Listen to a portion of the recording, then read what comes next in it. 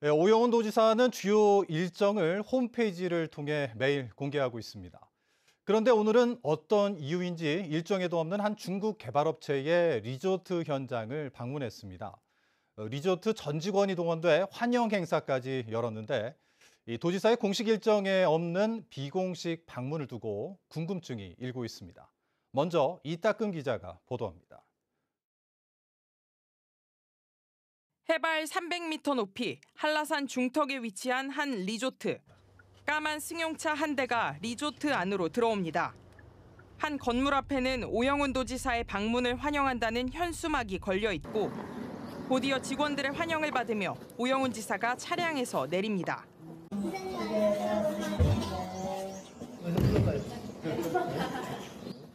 환영 행사를 마치고 나온 지사는 공사 현장을 둘러보며 15분 가까이 사업 진행 상황에 대한 설명도 직접 들었습니다.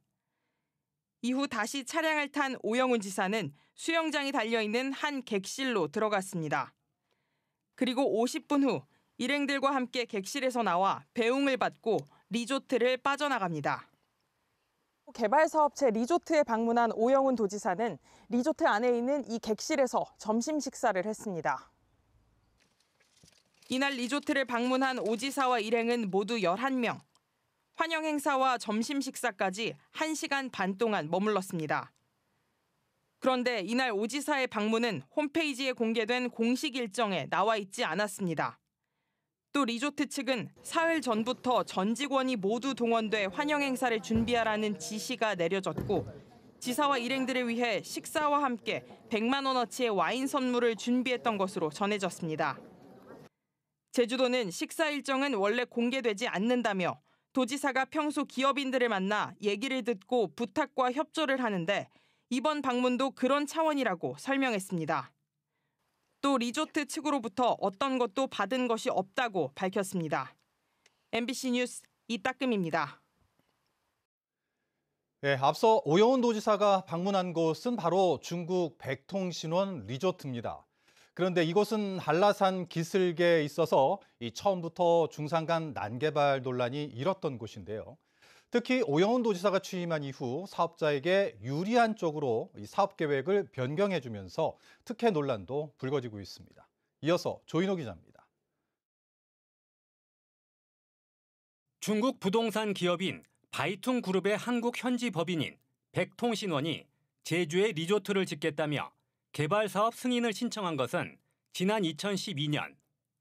곧바로 중산간 난개발 논란이 일었습니다. 해발 300m 고지대인데다 한라산 천연 보호구역에서 불과 700m 떨어진 곳이기 때문입니다. 이 때문에 도의회의 환경영향평가 동의안 심사 과정에서도 논란이 일었습니다. 지금 우리가 지금 아무리 투자 유치도 좋지만 더 중요한 것은 우리 제주도가 이제 환경 수도로 이렇게 나가려고 하니까 여러 가지 환경에 대해서는 엄격해야 된다. 결국 중국 백통신원은 2022년까지 사업비 2,432억 원을 투자하겠다고 약속한 뒤 제주도로부터 개발 사업 승인을 받았습니다. 콘도미니엄과 호텔 등 숙박시설과 함께 맥주 박물관과 생태 테마파크 등 다양한 휴양 문화시설을 만들겠다는 계획이었습니다. 그런데 사업자는 이곳에 약속했던 투자 금액을 절반으로 줄였습니다. 제주도가 이 같은 계획 변경을 승인해주면서 특혜 논란이 일고 있습니다.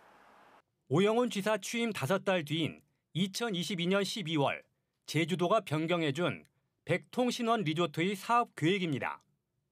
사업비는 당초 계획에 있던 2,432억 원에서 1,025억 원으로 무려 1,400억 원이나 줄었습니다.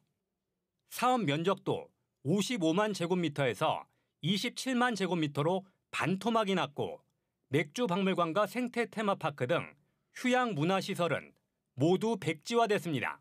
일단 땅이 팔 수 있는 것이죠. 그 나머지 토지들이 남아 있는 것이고 개발이 되지 않을 곳을 개발이 될 수 있는 곳으로 바꿔졌기 때문에 이게 땅값의 상승이 엄청나게 많은 것이죠. 제주도는 지난해 말에도 또다시 사업 계획을 변경해 사업 기간을 내년 말까지 2년 더 연장해 줬습니다.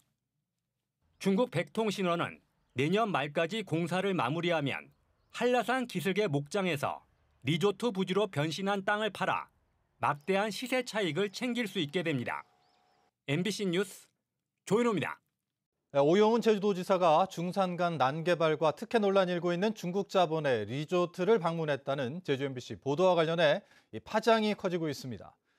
제주도는 MBC 보도가 공직자들의 명예를 실추시켰다며 유감을 표명했지만 국민의힘과 시민단체는 도지사가 밀실에서 사업자를 만난 것이 석연치 않다며 직접 사과하고 해명하라고 요구했습니다. 조인호 기자입니다. 중국 부동산 기업인 백통신원이 개발하는 리조트를 방문한 오영훈 제주도지사. 오영훈 지사는 공사 현장에서 브리핑을 받은 뒤 콘도 객실 안에서 사업자와 점심 식사를 하면서 1시간 반 동안 리조트에 머물렀습니다. 도지사와 관광부서 공무원 등 11명이 참여한 공식 방문이었지만 다른 일정들과는 달리 제주도청 홈페이지에 공개되지 않았습니다.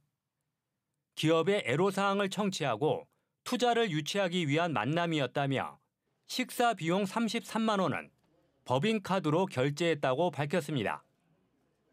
리조트 사업 계획을 변경해 준 것은 민간인들로 구성된 개발사업심의위원회 등 법률과 절차에 따라서 진행된 것이라고 밝혔습니다. 확실한 근거, 논거도 없이 행정행위가 마치 부도덕한 것처럼 보도됨으로써 결과적으로 1만여 공직자들의 명예를 실추시키고 있는 것에 대해서 어, 심한 유감을 표명합니다. 하지만 국민의힘 제주도당은 오영훈 도지사가 특혜 의혹이 무성한 업체를 방문한 것은 의혹을 확대 재생산하는 행보라며 직접 해명하라고 요구했습니다. 이 기업 같은 경우는 지금 아무래도 도민사회에서 지적하고 있는 그런 여러 가지 석연치 않은 부분들이 있는 상태에서 꼭 이런 시점에 방문을 해야 되냐 하는 게 시민단체도 오영훈 도지사가 밀실에서 사업자를 만났다는 것 자체가 매우 부적절하다며 도민들에게 사과하고 재발 방지를 약속하라고 요구했습니다. 그 사업의 승인권자인 도지사가 밀실에서 사업자와 만났다는 것은 불필요한 오해를 낳을 수 있고 이게 행정의 신뢰를 추락 시킬 수 있는 것이죠. 한편 백통신원 리조트는 투자 계획을 어겨 외국인 투자 지역에서 해제됐지만 제주도는 그동안 감면해준 세금을 추징했는지에 대해서는 사업자의 개인정보라며 공개하지 않았습니다. MBC 뉴스 조은호입니다.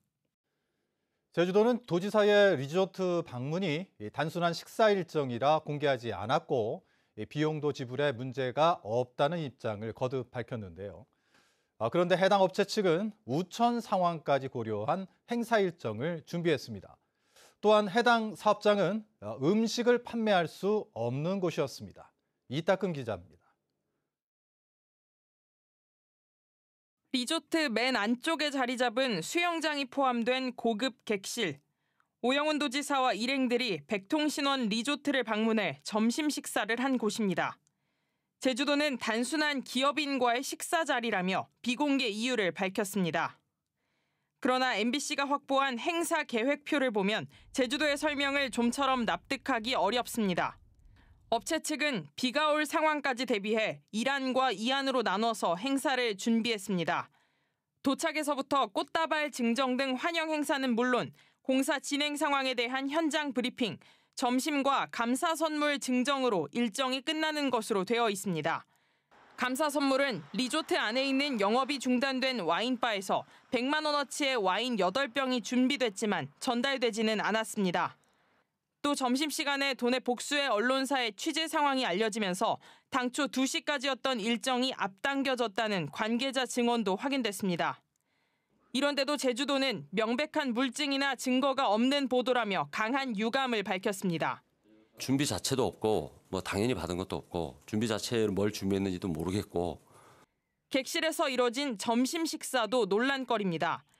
제주도는 11명의 밥값을 계산했다며 업종이 콘도로 표시된 33만 원의 카드 결제 내역을 공개했습니다.